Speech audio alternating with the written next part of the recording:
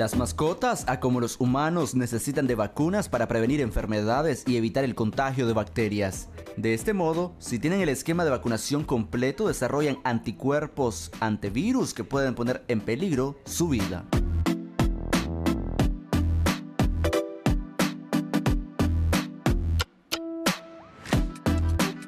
Algunos anticuerpos son transferidos en la placenta y otros son transferidos a través de la leche en la leche que sale las primeras 48 horas, que es el calostro. Entonces es sumamente importante que los cachorros puedan mamar. Después, los anticuerpos maternales se pueden mantener en el cuerpo de la mascota hasta por 45 días.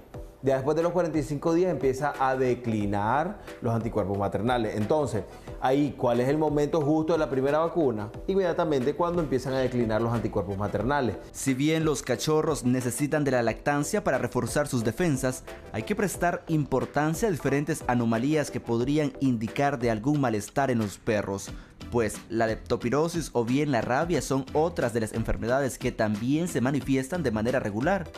Los especialistas aseguran que es necesario que antes de aplicar cualquier vacuna, el perro deba estar desparasitado. Vacunas contra parvovirus sería la primera. Porque, y, antes se hablaba que solo vacunábamos primeramente contra parvo, pero hoy parvo y distemper son dos enfermedades que están en nuestro ambiente y deben de vacunarse y se considera como la primo vacunación o primera vacunación. Ahora después enfermedades como leptospirosis, adenovirus tipo 2, para influenza, bordetela bronchiséptica y rabia son parte del protocolo de vacunación. Cabe destacar que según el criterio del veterinario las vacunas se deben reforzar anualmente para garantizar su efectividad. Asimismo, es importante tener en cuenta que ciertas razas necesitan más de una aplicación de las vacunas del plan.